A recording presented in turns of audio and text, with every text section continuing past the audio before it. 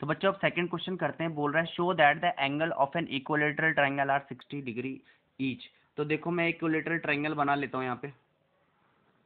अब equilateral triangle है तो मैं ए बी और सी मतलब इक्वलेटरल ट्राइंगल के सारे साइड्स इक्वल होते हैं, इन दोनों का साइड ये और ये। अब ध्यान से देखो, इन दोनों का, ये दोनों इक्वल है तो ये एंगल्स भी इक्वल होंगे, ये वाला और ये वाला।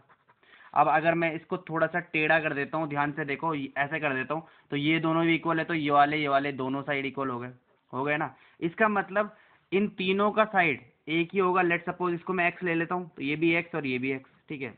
और इंटीरियर एंगल का सम कितना होता है बच्चों? 180 डिग्री। तो देखो angle A plus angle B plus angle C equals to 180 degree.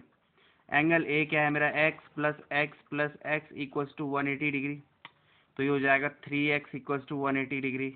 और एक्स हो जाएगा 180 अपॉन थ्री तो ये हो जाएगा कितना? Three five fifteen three six जाए एटीन तो देखो एंगल एक्स आ गया मेरे पे सिक्सटी डिग्री और देखो सारे एक्स है तो सिक्सटी सिक्सटी सिक्सटी तो पता चल गया कि इक्वलेटरल ट्राइंगल का जो सम होता है वो सिक्सटी होता है तो ये भी सिक्सटी हो जाएगा, ये भी सिक्सटी ये भी सिक्सटी ठीक है?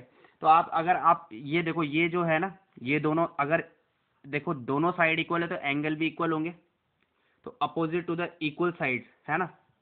Opposite to the equal side are equal ठीक है? तो ये क्या था इक्वल साइड्स थी।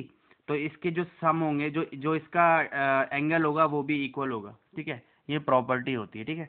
तो ये हमारा सेकंड क्वेश्चन भी हो गया बच्चों, अब हम करते हैं थर्ड क्वेश्चन